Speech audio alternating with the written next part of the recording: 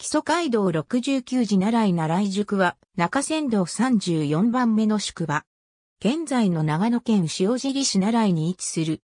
張り出した軒先の作りが特徴的な街並み。行く手に鳥居峠。塩尻市の習い川上流に位置する標高900メートル台の貸し段級海面に発達した集落である。現在は重要伝統的建造物群保存地区として繁栄した当時の街並みが保存されている。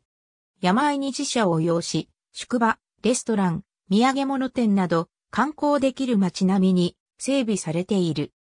基礎路11宿の江戸川から2番目で、11宿の中では最も標高が高い。南社の鳥峠を控え、多くの旅人で栄えた宿場町は、奈良井県と言われた。江戸よりから下町、中町、上町に分かれ、中町と上町の間に鍵の手がある。水場は山側に6カ所ある。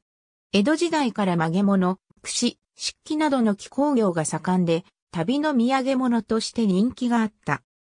天保14年の中山道宿村対外町によれば、奈良井宿の宿内や数は409件、内本陣1件、脇本陣1件、旗子5件で、宿内人口は2155人であった。奈良駅付近から見た奈良井宿電柱、自動販売機を移設し公共建築物も景観に合わせた建築にする等は、景観整備の一般的な手法であるが、旧奈良川村は、上町、中町、下町に各2カ所ずつの水場を村単独事業で整備することで独自性を演出した。また、霧妻平入りの屋根は3、15倍の長尺鉄板吹きで濃い茶色を使用することが条例で規定されている。日本瓦を使用した場合には4、10以上の勾配が建築基準法の規制から必要になってしまうため、伝統的な観光灰の屋根形状に合わせる目的で、長尺鉄板吹きが指定されている。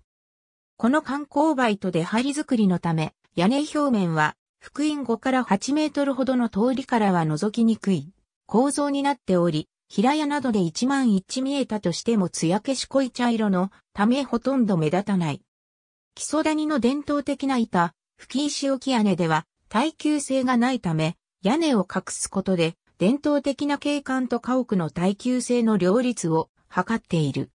また、雨どいについても茶系色のものを使用し、水平部分はビーン板で覆っている。ありがとうございます。